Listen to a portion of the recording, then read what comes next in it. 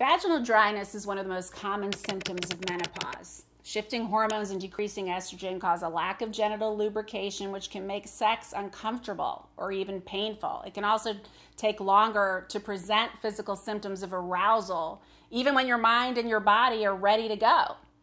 Lubricants will be invaluable, and you can also use estrogen or testosterone creams. However, you should talk to your doctor and get a prescription and make sure that's right for you. It's also important to take things slow and enjoy plenty of foreplay.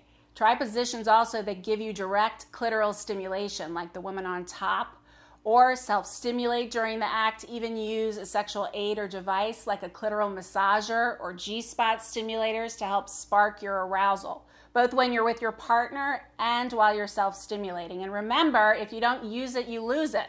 The more you enjoy regular sex and self stimulation, the stronger and more robust your sex life will be.